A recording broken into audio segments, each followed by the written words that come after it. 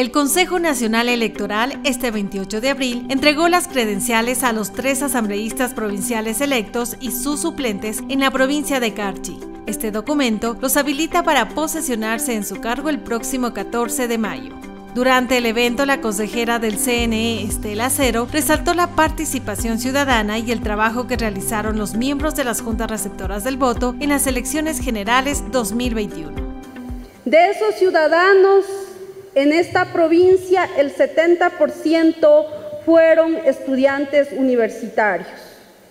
¿Y cómo no vamos a sentir gratitud nosotros si estos ciudadanos, a pesar de la pandemia, salieron a las urnas, salieron para cumplir con el país.